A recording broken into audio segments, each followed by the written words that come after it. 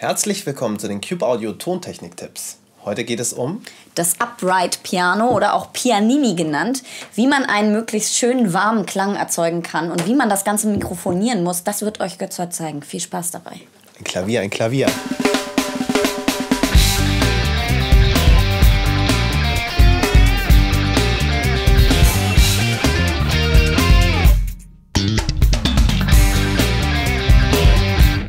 So, der Unterschied zwischen so einem Klavier und einem Flügel ist natürlich ähm, dort, wo der Klang entsteht. Der ganze Stimmstock, die ganzen Saiten, die sind nämlich bei so einem Klavier äh, hochkant, während die bei einem Flügel ja flach liegen. Und deswegen strahlt ein Flügel nach unten und nach oben ab, so ein Klavier, aber nach hinten und nach vorne.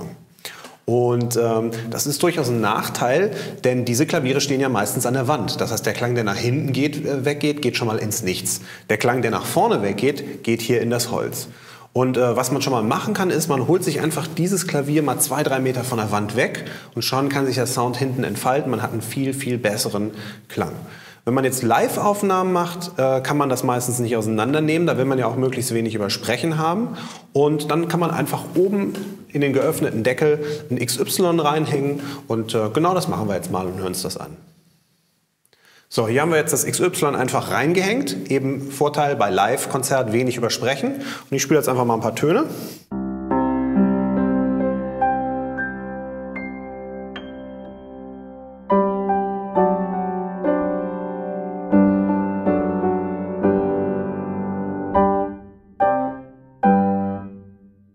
Auch wenn das Klavier jetzt nicht so perfekt gestimmt ist, man kann, glaube ich, ganz gut das Stereobild und auch das Volumen des Instrumentes einschätzen. Und äh, was wir jetzt mal machen ist, wir bauen jetzt mal die beiden Teile äh, vorne ab und schauen mal, wie das dann klingt.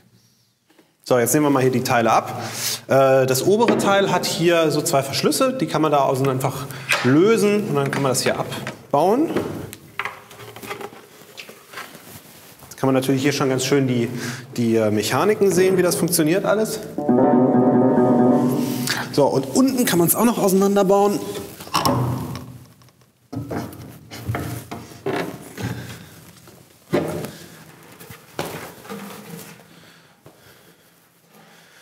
Und jetzt kann man ganz schön überall die, die Seiten sehen und jetzt kann das ganze Teil auch nach vorne hin richtig frei klingen. So, wir haben alles abgebaut. Die Mikrofonie ist wieder ganz identisch wie vorhin auch. Und jetzt kann das Ding richtig frei nach vorne klingen. Ich spiele noch mal ein paar Töne, damit man das hören kann.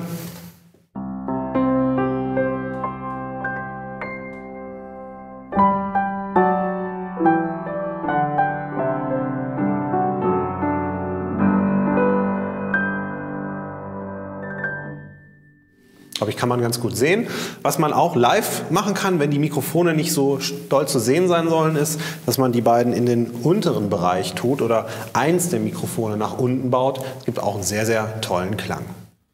Zum Schluss wie immer die Auflösung, wie wir es aufgenommen haben. Komplettes, unbearbeitetes Signal habt ihr gehört. Wir sind einfach mit den Mikros in eine alte M-Box gegangen.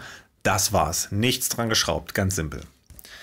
Dann haben wir ganz neue Termine für unsere Workshops. Erstmal ein alter Termin, unser fortgeschrittenes Seminar. Ein ganzer Tag Producing und ein ganzer Tag Mixing. Da sitzt ihr hier auf diesem Stuhl am Pult und mixt am 12. und 13. Februar 2011. Da gibt es noch einen einzigen freien Platz, weil wir das hier in einer kleinen Fünfergruppe machen. Meldet euch an, ist ganz spannend. Dann unser klassischer Kurs äh, Tontechnik, Mixing, Recording, Producing, so äh, der Rundumschlag sozusagen. Neuer Termin am 19. und 20. März 2011. Wir haben einen neuen Termin für unseren E-Gitarren-Workshop mit äh, Andor Arnold. Am 12. März geht es rund um E-Gitarre, ums Instrument, um Sound machen, mit Plugin, mit M, mit Tretmin, das komplette Programm. Und äh, einen Tag später, am 13. März, unser Music and Money Seminar. Auch super spannend. Da kommt nicht der Money, sondern da kommt nämlich der Friedel vom Label Fuego. Und der erzählt natürlich das klassische Thema. Was ist mit GEMA? Was ist mit GVL? Was ist mit Label? Wie funktioniert das Ganze? Aber mit einem besonderen Twist, nämlich ähm, Blick auf die heutige Zeit, Blick auf Selbstvermarktung von Musikern, Blick auf, wie funktioniert das Ganze im Internet. Ähm, das ist sehr, sehr interessant. Und dann drehen wir wieder ganz viele neue Folgen. Äh, deswegen brauchen wir wie immer Feedback, Themen, Wünsche, Fragen von euch an uns. Wie immer podcast at Cube Audio. Ihr kennt das Spiel. Jetzt muss ich nochmal die Werbung und den Link fürs Seminar nachschieben. cubeaudio.de slash Seminare. Da kann man sich anmelden und Fragen stellen könnt ihr an podcast at cubeaudio.de. So, Zettel weg. Ich mach Feierabend. Wir sehen uns beim nächsten Mal. Tschüss.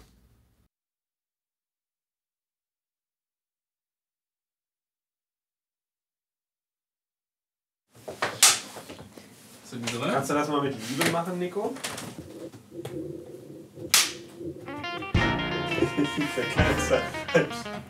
Willkommen zu den Tontechniken. Cube Audio Tontechniken. Ist Cube Audio zusammengeschrieben? Ja.